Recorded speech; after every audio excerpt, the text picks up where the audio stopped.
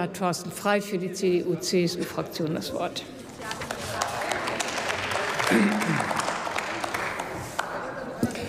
Frau Präsidentin, liebe Kolleginnen und Kollegen!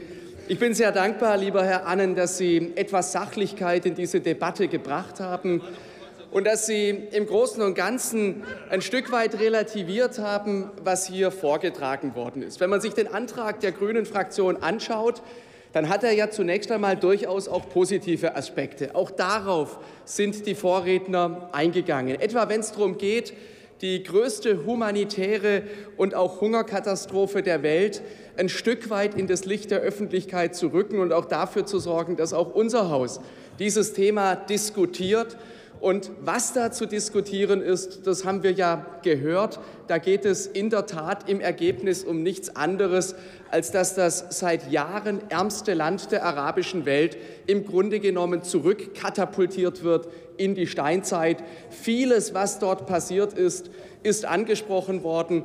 Man kann jetzt auch sehen, dass nach drei Jahren Bürgerkrieg, dass nach zwei Jahren Bombardement letztlich auch das Gesundheitssystem, die Infrastruktur so zerstört ist, dass eben auch an sich heilbare und vermeidbare Krankheiten zu massenhaften Sterben führen. Es sind auch schreckliche Verbrechen, die in diesem Zusammenhang begangen werden.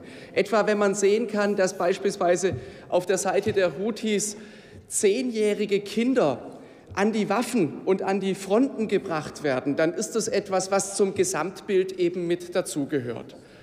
Und was Sie in Ihrem Antrag letztens auch noch richtig erwähnen, ist die Tatsache, dass es am Ende keine militärische Lösung, sondern nur eine politische und Verhandlungslösung geben kann.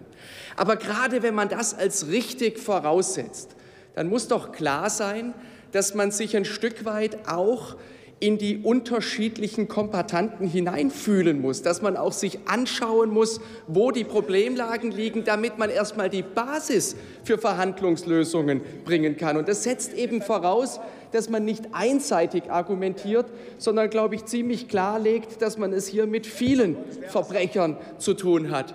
Und da ist es eben so, dass die Saudis gemeinsam mit der Hadi-Regierung natürlich Verantwortung tragen. Aber die Hadi-Regierung ist letztlich auch eine legitime und von der internationalen Staatengemeinschaft anerkannte Regierung. Sie sind von den Houthis vertrieben worden und nicht nur von denen, die haben sich ausgerechnet mit dem früheren Machthaber Saleh verbündet, der vorher Hunderttausende Houthis verfolgt, bekämpft und ermordet hat. Und insofern muss man, glaube ich, schon auch das gesamte Bild zeigen. Es ist eben auch richtig, dass an der hunderte Kilometer langen Grenze zwischen den beiden Ländern es auch Sicherheitsinteressen Saudi-Arabiens gibt, die es da eben ähm, auch zu respektieren äh, gilt. Und Gleiches gilt letztlich auch für die Rolle der USA. Ich sage das auch vor dem Hintergrund des anstehenden Besuchs des amerikanischen Präsidenten. Es ist eben tatsächlich so, dass die Amerikaner da durchaus auch eine gute Rolle spielen. Wenn Sie sich beispielsweise die Geberkonferenz anschauen, die Sie angesprochen haben, wo 1,1 Milliarden Euro gesammelt worden sind, da ist alleine die Hälfte von den USA gekommen.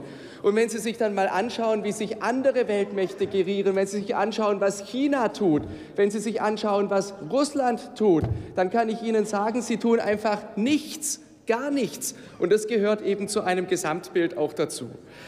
Sie sprechen in Ihrem Antrag davon, dass man eine radikale Änderung der Jemenpolitik in Deutschland braucht. Also da frage ich mich wirklich, was sollen wir denn eigentlich ändern? Wenn man sich allein diese Woche anschaut, wo der jemenitische Premier da war, wo seit dem vergangenen Sonntag unterschiedliche Vertreter jemenitischer Gruppen und Parteien hier in Berlin darüber diskutieren, wie man Verhandlungslösungen hinbekommen kann, wo Deutschland eben gerade auch seine Position in der Region und sein Vertrauen, das es genießt, letztlich dafür in die Waagschale wirft, zu Verhandlungslösungen zu kommen. Und wenn Sie sich darauf kaprizieren, dass Sie damit Waffenlieferungen meinen, dann ist es eben auch falsch zu behaupten, dass mit deutschen Waffen dort getötet würde. Weil da muss man sich genau anschauen, um was es denn eigentlich geht. Es geht um Patrouillenboote, es geht um Radarsysteme, die letztlich auch zum Schutz von Küsten und zum defensiven Einsatz verwendet werden.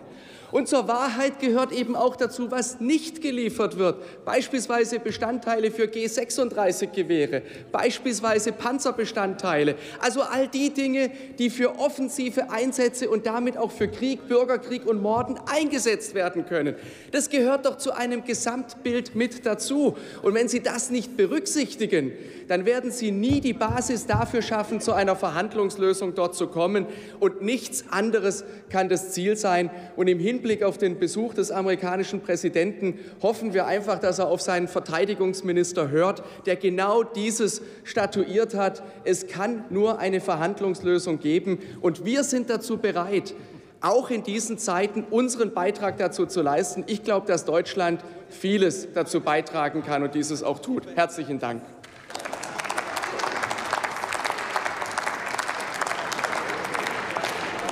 Liebe liebe Kolleginnen und Kollegen,